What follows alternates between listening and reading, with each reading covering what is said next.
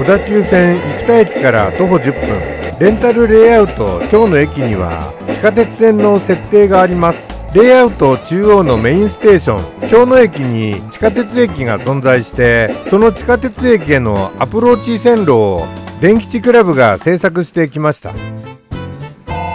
今回は地下駅アプローチ線路制作動画の後編をお送りします。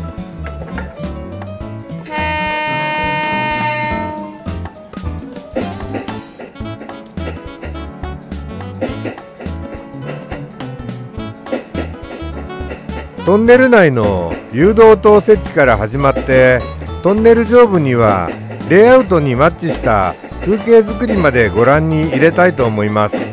前編からかなり間が空いてしまい申し訳ありませんでした。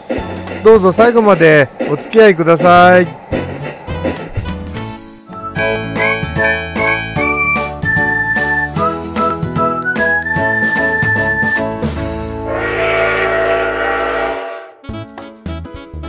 はい。電気士クラブです。今回もご視聴いただきましてありがとうございます。今回はレンタルレイアウト今日の駅地下鉄駅へのアプローチトンネル制作の後編をお送りします。前編をまだご覧になっておられない方は前編からのご視聴をお勧めします。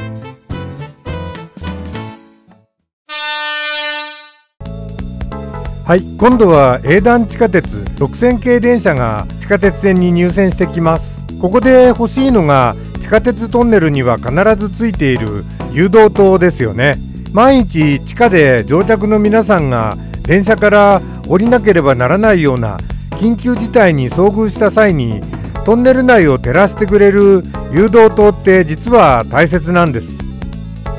地下鉄だけじゃなくてちょっと長いトンネルには大概ついている誘導と当然京の地下駅へのアプローチトンネルにも絶対に必要なのでここアプローチトンネルの奥にもポツンポツンと LED 加工の誘導灯を設置することになりました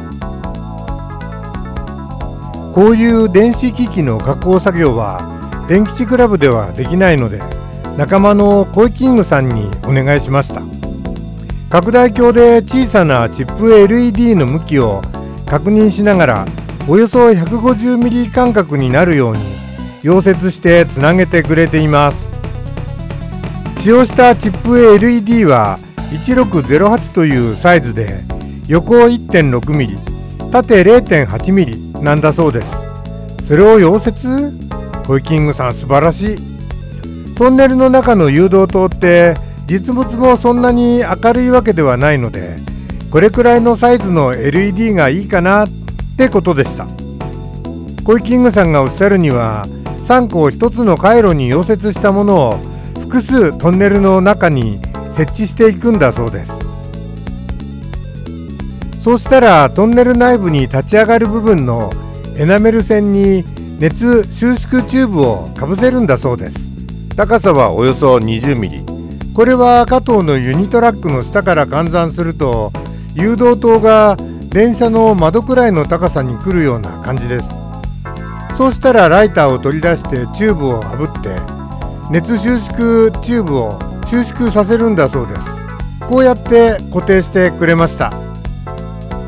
ちなみに熱収縮チューブってこんな風に巻かれて売られているんだそうで僕は初めて見ましたがコイキングさんはよく使うんだそうです。1セット 3LED の溶接と熱収縮チューブによる固定が終わりました。コイキングさんにお願いして完成品を持ち上げてもらいましょう。ここのチューブの先端にあるのが1608のチップ LED になります。そしてこれがお隣のチップ LED この間隔が約 150mm になります。ところがこの方法だと手間がかかって大変だったので量産にはエナメル線ではなくて被覆導線を使ってもらうことにしました。コイキングさんが量産加工をしているところを取らせてもらいました。こうやって被覆導線の先端にフラックスをつけてそしてこのようにハンダを溶かしてから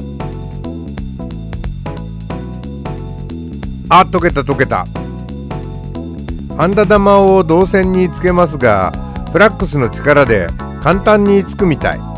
そうしたらこうしてすでに片側を溶接して固定してあるチップ LED にハンダで溶接します。コイキングさんも僕が撮影していることが分かっているのでハンダゴテの角度とか押さえる手の位置とか気遣ってくれたみたい。そしたら先ほど熱収縮チューブを使ってやっていた約 20mm の立ち上げ部分にテープを巻いて固定してもらいます。こんな感じで準備をしてノギスで寸法を確認しながらテープによる固定作業を進めてくれました。被覆導線になって少しはやりやすくなったとのことですがなんせ小さいので大変です。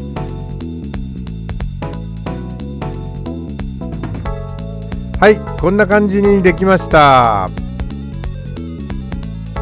それではコイキングさんに量産に入っていただきました。京野駅の左右からのアプローチトンネルにおよそ150ミリ間隔で明かりを灯すので片側4セット合計では8セットも細かい作業をしていただきました。クッキングさんありがとうございました。LED は少ない電気で点灯するんですけどもそこにたくさん大きな電気を流すと壊れてしまう。そのために大きな電気を小さな電気に変えるために抵抗をつけます。はい。でこれが抵抗のサイズっていうのかなんかそんなのは何かあるんですか？サイズは、えー、直列に今 LED が3つついてますのではい、えー、これについては330オームという抵抗を使ってます。ああもしかしてこれ？そうです。秋葉原ですね。秋葉原ですね。はいありがとうございます。そうしたら作っていただいた LED ユニットをトンネル内の壁面に取り付けていきます。この時コードが線路にかぶったりしていますが大丈夫。後で線路脇に沿うように処理をしています。コイキングさんが LED を地下線路脇の壁面に取り付けてくれています。目の前の地上線を電車が通過していきました。地下鉄のトンネルには一定間隔で窓があるのでそこにちょうど LED が来るように位置調整をしながら固定しています。はい下鉄トンネルで必ず見かける誘導灯が点灯しました。うんなかなかいい感じ。コイキングさんに感謝ですね。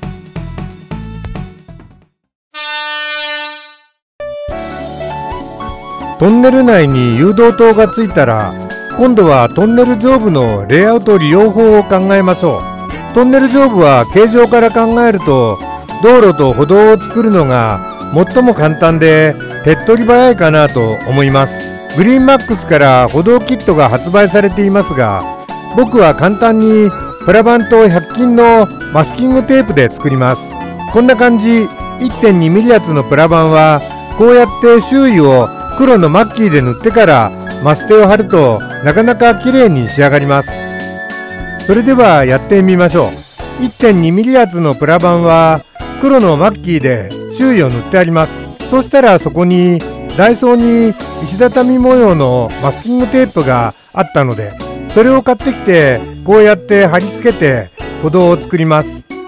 マステの幅が歩道2枚分いけたんで一気に2枚ずつ作れてしまうのがいいですね。そうしたらプラ板周囲を渋い黒に塗ってあるので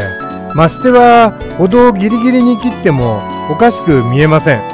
グリーンマックスの歩道キットを買ったらおそらく3000円では上がらないのでここは年金暮らしのモデラーのアイデアでカバーします。今日の駅のオーナーもこうやって安く上げていますみたいなノウハウをお客様に話してくれているみたい。はいできました。そうしたら裏に両面テープを貼って400番耐水ペーパーで仕上げた道路の両側に貼っていきます。使っているのは建築用の両面テープで100均の両面テープよりは若干粘着力が高い気がします。トンネル1個分の長さに揃えた歩道部分をご覧のようにサクサクと貼っていきました。はいこんな感じです。そうしたらここから先の道路の伸ばし方ですがトンネルに沿ってカーブさせていくといずれトンネルの終わり部分で行き詰まります。なので道路はこのまままっすぐに伸びている体で作ってこちらのトンネル上部には何か別の施設を作ろうと考えましたそう決めたら迷わずに進めましょう。道路がまっすぐに伸びているようにまずは歩道部分の形でそれを示すことにしました。カーブしているトンネル上部にそれに逆らうように歩道をまっすぐに設置していきます。こうですね。体勢に従わずにまっすぐに自分の道を行くみたいに思えてとってもかっこいいと思いました。なんちゃってオーバーですね。どうですか？歩道の形が決まって道路の進む方向が固まったところでちょっと引いてみるといいじゃないですか。そうなるとこの斜めの土地の活用方法ですがちょうどファミレスが一つ余剰だったのでそれを置いて駐車場を整備してみることにしました。ほらこんな感じ。後日ファミレスはこの時点では全く予想もしていなかった別の用途になるんですがまずはシールもステッカーも何もないながらファミレスとして植樹しておこうとパイ 1.2mm のドリルで穴開けを始めました。手持ちの樹木の幹の太さがパイ1.1程度のいびつ型だったのでそれを使うための下処理になります。そうしたらアスファルトではない土表現する部分をプラ棒で区切ってそこにトミックスのシーナリーボンドを垂らします。シーナリーボンドですがそうですね。塗るという表現より垂らすという表現がしっくりするくらい木工用ボンドよりは流動性があります。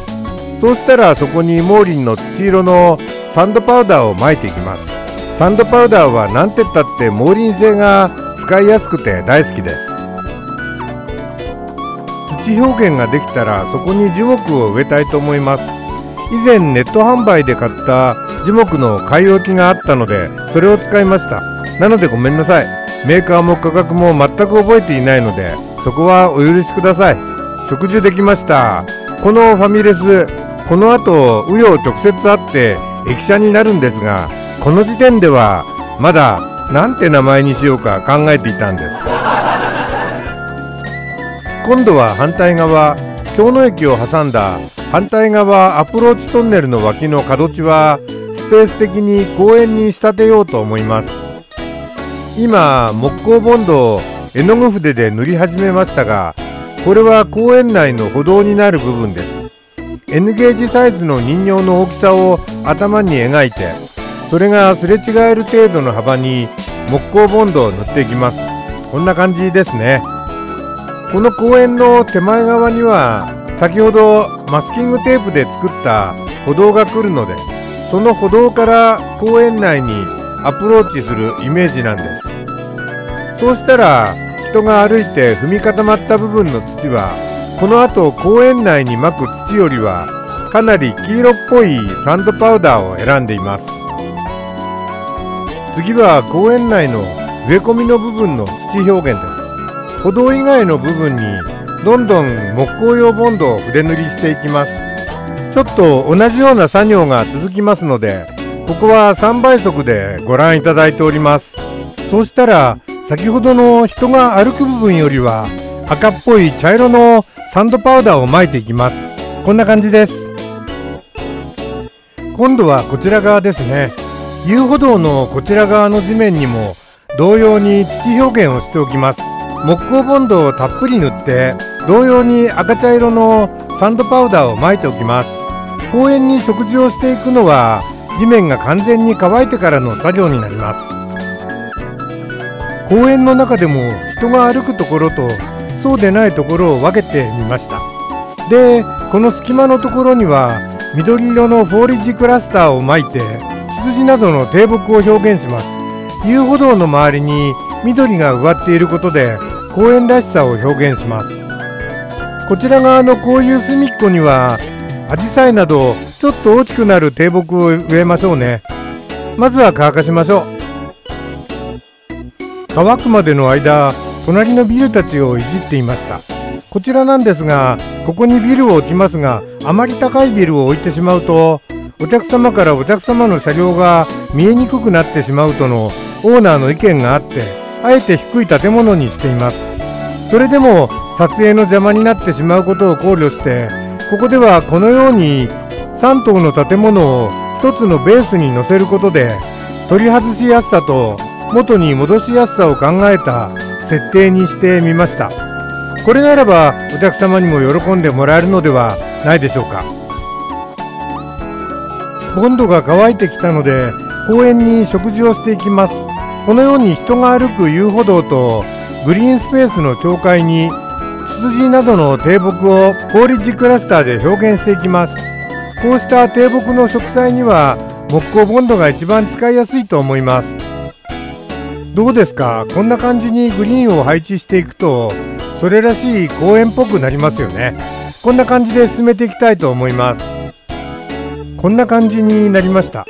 ちょっと高めの樹木も植えて他にも少々小道具を置いたらまずまずの公園らしくなりましたね。でカメラを右に振っていくとこんな感じ。駅から左右に伸びたトンネルの上にこうやって人の営みができることでこの下のトンネルがただのトンネルではない。地下鉄のトンネルというイメージの情勢に一層役立ったのかなと思いました。お京急の2100型電車がやってきました。あたかも終点の泉岳寺駅に到着する感じで嬉しくなります。地下鉄区間に入った京急2100型電車の室内灯を追いかけてみましょう。京野駅に滑り込んでいきます。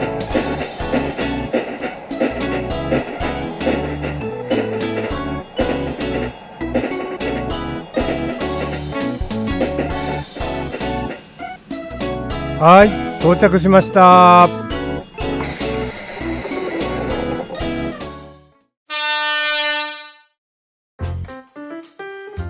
それではその前にちょっとガードレールを取り付けているシーンをお見せしましょう。このガードレールなんですが10年近く前から僕の予備パーツ入れの中にあったものなのでメーカーも価格もわからなくてごめんなさい。ご覧のように歩道の脇に置いて現物合わせで固定穴を開けています。穴の径はファイ 1.2mm を使用しています。そうしたら合成ゴム系接着剤をガードレールの先端に若干量取り付けて取り付け穴に差し込んでいきます。さあ駅の左側からのアプローチトンネルをどう生かそうか。オーナーといろいろ話し合いました。トンネル内には誘導灯がついてちょっとリアル感は出せたと思っているんですが上部の活用法となるとファミレスのところから先が全く決まっていませんでした。そのためここには線路を23本敷いて電車を展示するダミーヤードにする案をオーナーからいただきました。そこでトンネル上部に MDF 材を取り付けてそこにレールを敷くための切断作業が始まりました。MDF 材をまっすぐ切断するために横にマスキングテープで金属製の定規を貼っておくアイデアはオーナーからいただきました。模型用のノコギリしかなかったので心配しましたがいやいやどうしてどうして MDF 材程度なら立派に切断できました。今度は選手交代電池おじさんが MDF 材を切断します。実際に切ってみた経験からするとノコギリは刃をできるだけ倒して材料と平行になるような意識で切ると切りやすいし曲がらないで切ることができます。まあまあまっすぐだと思いますけどね。地下線路の上って僕的にはつなぎ目がデコボコしてしまっていてそれが気になって気になってなんとかならないものかと思っていたんですがオーナーのアイデアで画期的な改善ができることになりました。それがこちらです。先ほど切断した MDF 材を置いてみました。うんいい感じ。この上に線路を23本敷けばダミーながら単編成の車両の留置線が作れます。段差も気にならない。やるじゃないか。地上線側から撮影するとこんな感じ。ここの上をダミーの留置線みたいにしたいね。ってさっきオーナーと言ってたんですが地方鉄道の駅にしたいなーって思ってしまいました。そうすればファミレスは電鉄京野駅の東端にある駅舎に使えそうです。電吉コレクションに作ったけれど使っていない地方鉄道の駅があるので次回持ってくるとオーナーに約束をしました。3日後。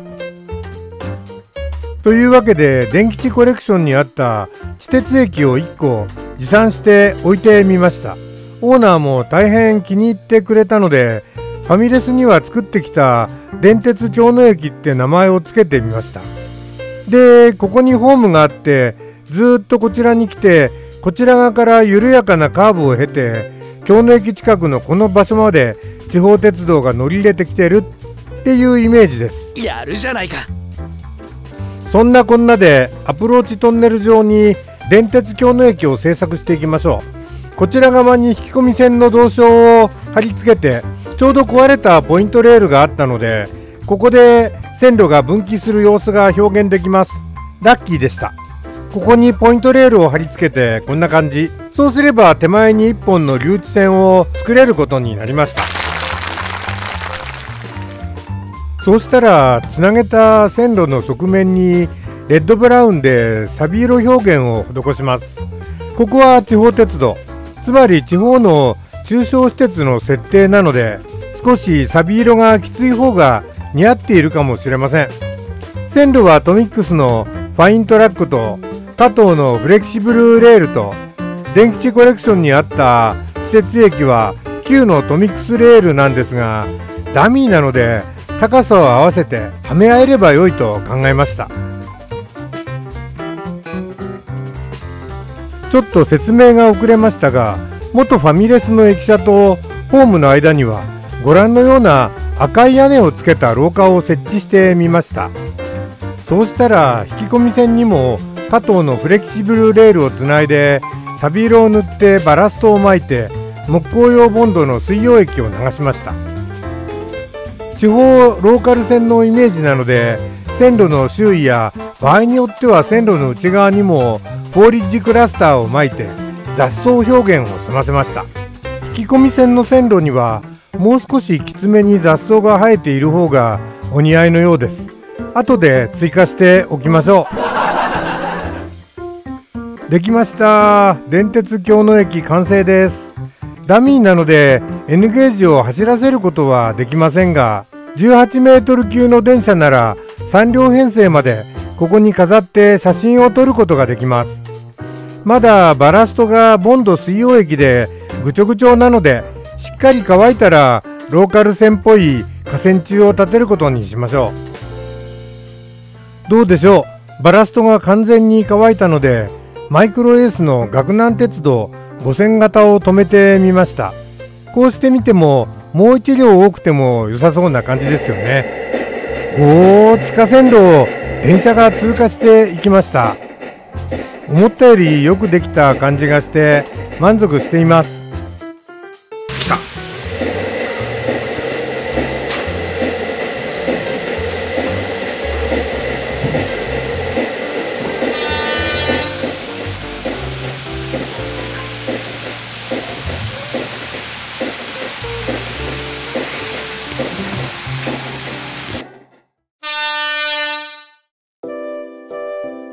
はいそうしたら JR 京野駅と今回作成した電鉄京野駅の間を乗り換えのために行き来する乗客を配置しましょう。この150分の1のフィギュアはカラーリングが派手派手の代わりに安く手に入ったものですが少しはリアルに見えるように電気おじさんが一体一体塗り替えたものです。JR 駅。いや僕の時代は国鉄ですが国鉄駅とちょっと離れた地鉄駅ありましたよね。これで前後編でお送りした KYOの駅地下駅にアプローチする地下トンネル制作動画は終わりです。次はメインの KYOの駅の真上に駅ビルを作りたい。そう考えてワシングトンホテル再建計画で大活躍していただいたサンデー沼さんに駅ビル内の点灯工作はコイキングさんにお声かけさせていただいております。いつになるかは分かりませんが近日中に工作をスタートさせたいと思っています。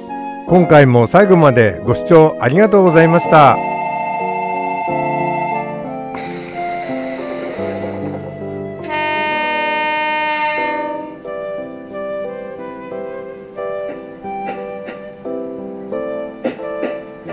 もし動画を気に入っていただけたらチャンネル登録をお願いします。